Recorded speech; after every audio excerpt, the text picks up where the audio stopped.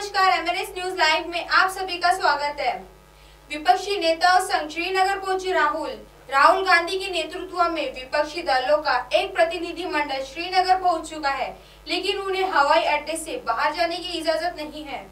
खाड़ी देशों में रुपए कार्ड अपनाने वाला पहला देश बना यूएई प्रधानमंत्री नरेंद्र मोदी ने शनिवार को यूएई के बाज़ार में रुपए कार्ड की पेशकश की, जिससे यहाँ की बहुत सी दुकानों और व्यवसायिक प्रतिष्ठानों में भी भारत के इस डिजिटल भुगतान कार्ड से चीज़ें खरीदी जा सकती है।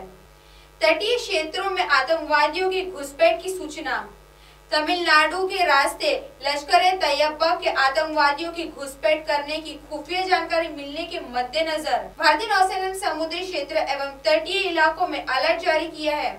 एमएनएस न्यूज़ लाइव की खबरें देखने के लिए आज ही प्ले स्टोर से M N S Hindi app download कीजिए और इस चैनल को सब्सक्राइब कीजिए। धन्यवाद।